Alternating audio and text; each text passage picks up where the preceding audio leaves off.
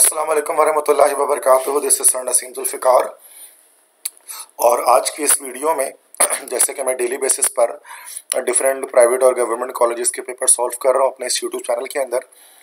तो अभी ये मैं बहरिया कॉलेज कारसास का जो पेपर हुआ है तो उसको सॉल्व करने जा रहा हूँ मॉर्निंग शिफ्ट का 2023 का। और ये पेपर है सेकेंड इंग्लिश का। ठीक है कराची बोर्ड से। तो सबसे पहले इसके एम उसको सॉल्व करेंगे। तो फ़र्स्ट है Lord Tennyson was born in the year Alfred Lord Tennyson जो है वो किस ईयर में पैदा हुआ, किस साल वो पैदा हुए? तो 1809 में ये पैदा हुए सी ऑप्शन करेक्ट होगा। सेकंड है the lost star is a dash lost star क्या है? एक पॉलिटिकल पोम है, एक ट्रेजिक पोम है, एक ह्यूमरस पोम है, एक लेजेंडरी पोम है। तो एक लेजेंडरी पोम है ये। डी ऑप्शन करेक्ट है। थर्ड है Tang dynasty rule from this to this Tang dynasty ने किस ईयर से किस ईयर तक जो है वो चाइना के अंदर राज किया? तो उन्होंने six one eight to nine zero seven A D छः सौ अट्ठारह से लेकर जो है वो नौ सौ सात ए डी तक इन्होंने जो है वो चाइना में हुकूमत की टैंग डायनेस्टी तो ये reflection on the reawakening East में लिखा होगा फुट नोट के अंदर। Fourth if hopes for doubts then fears may be liars तो fears may be liars liars means false तो ये सेन और the struggle nought availeth से लिया गया लाइन। है fifth king Rudolf Elberg was imprison in उनको इम्प्रिजन कहा गया था, किया था? ओल्ड कैसल में इम्प्रिजन किया गया था। सिक्स है polytheist means believed in many god जो बहुत सारे खुदाओं पे बिलीव करे। सेवंथ है most of the other gave up exhausted और climbed on the tree in dash park that is Franklin park तो ये the day the dam broke जो जेम्स थर्बर की एक ह्यूमर राइटिंग है तो उसके अंदर एक जो है वो तस्करा है कि बहुत सारे लोग जो है वो फ्रैंकलिन पार्क, एक पार्क है बेंजामिन फ्रैंकलिन के नाम से, कोलंबस सिटी के अंदर उसके ऊपर चढ़ गए, ताकि वो जो डैम टूटने से जो पानी आएगा उससे बच सकें। Eight the twenty minutes with Mrs Oakentubb is the dash. Twenty minutes with Mrs Oakentubb क्या है? तो एक मेलो ड्रामा है। Ninth, get off your horse and fight like a man. This words are spoken by इस words को किसने कहा था? इसको रूपर्ट ऑफ़ हेंडजू ने कहा था रजनडाइल को। ठीक है सॉरी रजनडाइल ने कहा था रूपर्ट को। Face to face in the forest ये जो चैप्टर है उसके अंदर। Tenth in Greek mythology Ulysses is Ulysses कौन थे? एक हीरो था। Eleventh the solitary reaper belong to the highlands of Scotland twelfth है John Galsworthy receive the Nobel prize in literature in the year John Galsworthy को Nobel prize literature का कब मिला? John गल्सवर्दी जो राइटर है act three of the silver box के। तो 1932 में जो है वो नोबेल प्राइज से नवाजा गया डी ऑप्शन थर्टीन है your independence will not be very difficult to preserve specially in the view of division of the rest of the world into two hostile blocks या टू हॉस्टाइल कैंप्स तो ये C option ये Bertrand Russell का जो chapter reflection on the reawakening east से लिया गया MCQs है. फोर्टीन थे Schopenhauer was the German dash वो जर्मन फिलोसोफर थे आर्थर शॉपिन हॉर एक पेसिमिस्ट फिलोसफर थे इसका तस्करा एल्बर्ट आइंस्टाइन ने अपने chapter the world as a seat में किया। Fifteen Einstein compares the one who does not seek the mysterious to a snuffed out candle ये भी the world as a seat से sixteen the old and the new portion of castle were connected by drawbridge seventeen your education has been more comprehensive than mine you write it the speaker is what कि तुम्हारी तालीम मुझसे ज़्यादा comprehensive है, तुम इसको लिखो। ये स्पीकर कौन है? Princess Flavia madame de Mauban Fritz Rassendyll तो ये आई थिंक सो के ये रजन डाइल ही होगा जिसने ऐसा स्पीक किया होगा चूँकि शायद उसकी उंगली में ना चोट लग गई थी तो वो लिखना वो लिखना नहीं चाह रहा था, फिर फिर मतलब उसकी राइटिंग सही नहीं थी। जो उसकी राइटिंग किंग रोडॉल्फ से नहीं मिलती थी। तो उसने शायद कहा होगा किसी और से कि भाई तुम लिख दो मेरे बस बदले में, वरना ऐसा भी हो सकता है राइटिंग के थ्रू वो पकड़ा जाता है। ये मेरा गैस है। कि ये रजन इसके अंदर होगा। ये एक लाइन है मतलब आप नॉवल तो दैट बात तो बहुत बड़ी है, सारी लाइन्स नहीं पता हो सकती, जैसे गैस लगा सकते हैं। एटीन है Johann is the game keeper of duke Michael nineteen है in the novel the prisoner of Zenda Jacob ladder was actually a pipe twenty है Black Michael was killed by Rupert of Hentzau ठीक है तो ये MCQs हो गए। इसके बाद सब सेक्शन फोर ग्रामर है। ग्रामर के अंदर आप, मैं कुछ चीज़ें आपको सॉल्व कर देता हूँ। सब सेक्शन फोर इसका सॉल्व कर सकते हैं दैट इज़ ग्रामर पोर्शन तो ये आई थिंक ये होमोफोन से होमोफोन्स बता देता हूँ।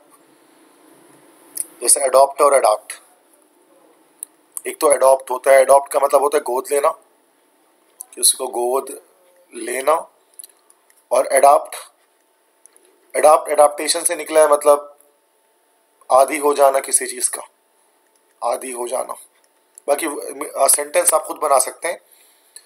Birth B E R T H birth. तो बर्थ आई थिंक जो सोने की जगह कह सकते हैं, जो ट्रेन वगैरह में होती है, और B I R T H birth जो है, वो तो इसके मतलब तो आप जानते हैं, इसके मतलब होता है पैदाइश। इसी तरह से cast C A S T cast cast का मतलब होता है लगाना किसी चीज़ को, और C A S T E caste जो होता है, या कास्ट के एक मतलब नशर करना भी हो सकता है। नशर करना, टेलीकास्ट जिसको हम कहते हैं। और कास्ट इस कास्ट के मतलब होते हैं ज़ात। ज़ात पात वगैरह। Complement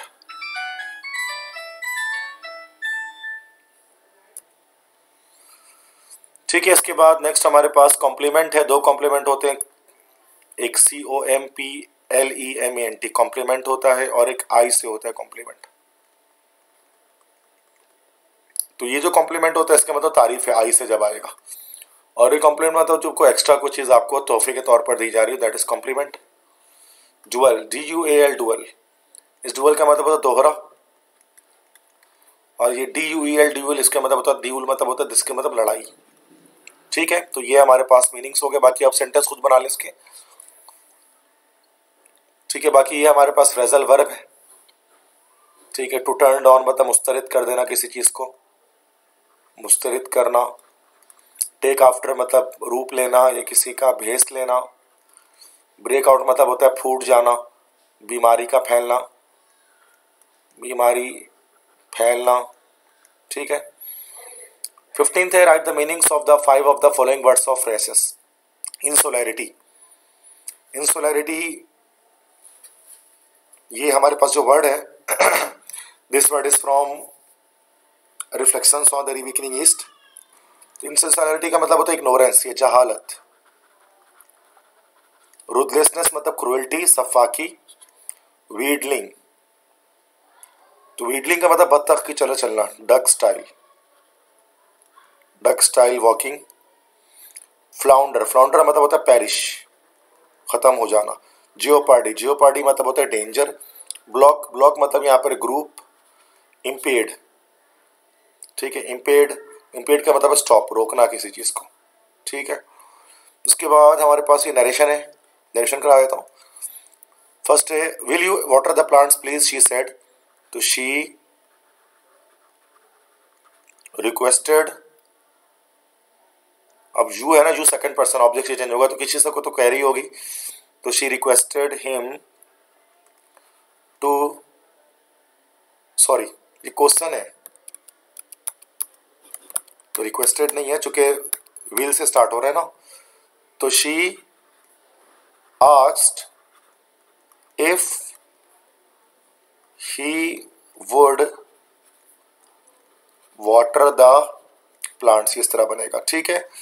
Next I said to him I have written a novel assertive है, जो सिंपल बन जाएगा। I told him that I had written a novel C a teacher said to the students complete your work in time अभी advice है। तो teacher advised the students to complete अब your है ना तो योर तो देयर हो जाएगा। क्योंकि उनको कह रहे हैं सेकंड पर्सन है तो ऑब्जेक्ट से चेंज होगा। To complete their work on time. Next day, the leader said, Alas, I have lost the election. तो हो जाएगा the leader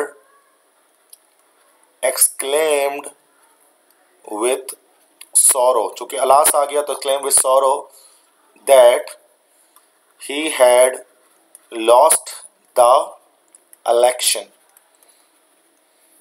next she said to him what is your name तो ये एक इंटरोगेटिव है। She asked him what his name was और last में full stop passage देख लेते हैं टेन मार्क्स का। तो ये ये स्टार्टिंग लाइन्स है। ये स्टार्टिंग पैराग्राफ है आपका, ये वर्ल्ड सीट का एल्बर्ट आइंस्टाइन तो बस क्वेश्चन थ्री और फोर सॉल्व कराओ give meanings of the following words destinies means fates exert means apply लगाना। बाउंड मतलब टाई बंधा होना। वेलफेयर मतलब किसी की हैप्पीनेस या खुशी। नेक्स्ट है पार्ट्स ऑफ़ स्पीच बताना है रिमाइंड वर्ब है माई सेल्फ एक प्रोनाउन है this will be positive pronoun sympathy एक नाउन है, हमदर्दी डिपेंड ये हमारा एक वर्ब है फ़र्स्ट फॉर्म है। ठीक है बेटा? तो this is all about the lecture of Beria college कारसास तो मेरा नाम है सर नसीम जुल्फ़िकार आप मेरा यूट्यूब चैनल देख रहे हैं। अगर आप मेरे फ़िज़िकल क्लासेस को ज्वाइन करना चाहते हैं तो ये मेरा व्हाट्सएप नंबर है। इसके थ्रू आप मुझसे कोऑर्डिनेट कर सकते हैं। फिर नोट्स वगैरह आपको रिक्वायर्ड है किसी भी क्लास के तो इस नंबर पर आप उससे कॉन्टेक्ट करके पीडीएफ नोट्स के आप उससे ले सकते हैं। ठीक है? तो बस ये चीज़ है। बाकी मैं class nine tenth first year second year की फ़िज़िकल क्लासेस भी दे रहता हूँ। ई कैट एम डी कैट की भी फ़िज़िकल क्लासेस देता हूँ। दुबई इलिन कोचिंग सेंटर के अंदर, जो कि जिसके कैंपस औरंगी टाउन में, गुलशन इकबाल में नॉर्थ कराची में मौजूद हैं, या फिर आप जो है वो व्हाट्सएप के थ्रू भी मुझसे जो है वो रबता कर सकते हैं। ठीक है? थैंक यू सो मच अपना ख्याल रखिएगा। अल्लाह हाफिज़।